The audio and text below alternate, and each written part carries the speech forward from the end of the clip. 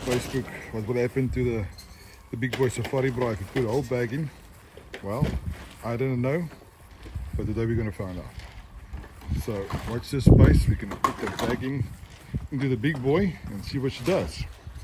Because I'm still is a dodgy one, if you add a lot of heat to it, it can swap and turn.